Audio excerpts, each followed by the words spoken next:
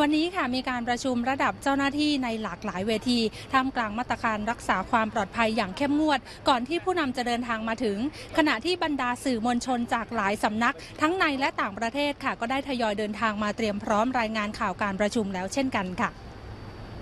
วันนี้เป็นวันแรกที่สื่อมวลชนเปิดทำการอย่างเป็นทางการที่อาคาร Challenger Hall 3มีสื่อมวลชนทั้งไทยและต่างประเทศ ทยอยเดินทางมาร่วมรายงานข่าวการประชุมสุดยอดอาเซียนครั้งที่ 35 และการประชุมอื่น ๆ ที่เกี่ยวข้อง ในระหว่างวันที่ 2 ถึง 4 พฤศจิกายน ที่ Impact เมืองทองธานี โดยสื่อมวลชนจะต้องคล้องบัตรห้อยคอ แสดงตนผ่านเข้าเครื่องสแกน ก่อนรับของที่ระลึก ซึ่งจะเป็นสิ่งของที่ทำจากวัสดุธรรมชาติ ตรงกับคอนเซปต์การประชุมสุดยอดอาเซียน ที่เน้นการรักษาสิ่งแวดล้อม อย่างเช่นกระเป๋าใส่บัตรที่ทำจากเปลือกกล้วย สมุดโน้ตที่ทำจากกระดาษรีไซเคิล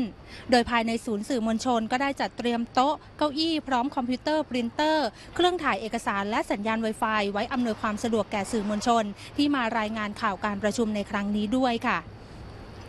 ขณะที่ก่อนการประชุมสุดยอดอาเซียนอย่างเป็นทางการจะเริ่มขึ้น วันนี้ค่ะก็ได้มีการประชุมในระดับเจ้าหน้าที่ เพื่อเตรียมความพร้อมทั้งเรื่องเอกสาร หัวข้อและเนื้อหาของการประชุม ที่จะให้ผู้นำได้หารือร่วมกัน ทั้งการประชุมเจ้าหน้าที่อาวุโสอาเซียน การประชุมระดับรัฐมนตรีความตกลงหุ้นส่วนทางเศรษฐกิจระดับภูมิภาคเฉพาะฝ่ายอาเซียน การประชุมระดับรัฐมนตรีความตกลงหุ้นส่วนทางเศรษฐกิจระดับภูมิภาค ซึ่งในระดับรัฐมนตรีจะเป็นการหารือในข้อตกลงในเบื้องต้น ก่อนที่จะเสนอต่อผู้นำเพื่อให้ความเห็นชอบ โดยเนื้อหาหลักที่จะหารือค่ะก็จะอยู่ในประเด็นที่เกี่ยวข้องกับ 3 เสาหลักของอาเซียน ทั้งด้านการเมืองความมั่นคง เศรษฐกิจและสังคม รวมถึงการเตรียมพร้อมของภูมิภาคอาเซียนในการรับมือกับการเปลี่ยนี่ยนแปลงที่จะเกิดขึ้นในอนาคต เพื่อนำไปสู่การแก้ปัญหาและหาทางออกร่วมกัน ซึ่งจะช่วยสร้างความเป็นเสถียรภาพ ความมั่นคงให้กับภูมิภาค ด้านการรักษาความปลอดภัยค่ะ ก็ได้มีเจ้าหน้าที่ตำรวจและเจ้าหน้าที่ที่เกี่ยวข้อง ตรวจเข้มรถทุกคันที่ผ่านเข้าออกบริเวณการประชุม ซึ่งต้องมีบัตรที่กระทรวงการต่างประเทศออกให้เท่านั้น โดยได้มีการตรวจตราทั้งบุคคลและรถอย่างเข้มงวด ตั้งแต่บริเวณทางเข้าที่ประชุม จนถึงบริเวณสถานที่จัดการประชุม มีการติดตั้งเครื่องสแกนและตรวจกระเป๋าสัมภาระ เพื่อความปลอดภัยสูงสุดด้วยค่ะ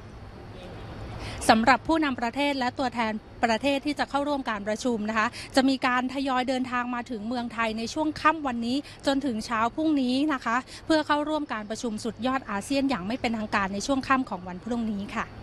ขอบคุณคุณพัทรพรมาลโสนะครับก็เรียกได้ว่าทุกฝ่ายเตรียมพร้อมรับ การประชุมครั้งนี้อย่างเต็มที่นะครับ ใช่ค่ะ เมื่อสักครู่เราจะเห็นภาพของเจ้าหน้าที่ฝ่ายความมั่นคง ทั้งตำรวจทหารที่ส่วนที่กำลังกันเพื่อเป็นการดูแลความปลอดภัยพื้นที่โดยรอบสถานที่การประชุม ตรวจทั้งรถแล้วก็บุคคล ถ้าเกิดเป็นตัวบุคคลต้องเข้าไปในพื้นที่เนี่ยจำเป็นจะต้องมีบัตรนะคะ เพื่อที่จะเป็นการสแกนยืนยันตัวบุคคลนั้นๆ ที่จะเข้าไปในพื้นที่ การดูแลความปลอดภัยต่างๆ นั้นก็เพื่อเป็นการสร้างความมั่นใจให้กับผู้นำแล้วก็ผู้ที่เดินทางมาร่วมการประชุมครั้งรั้งนี้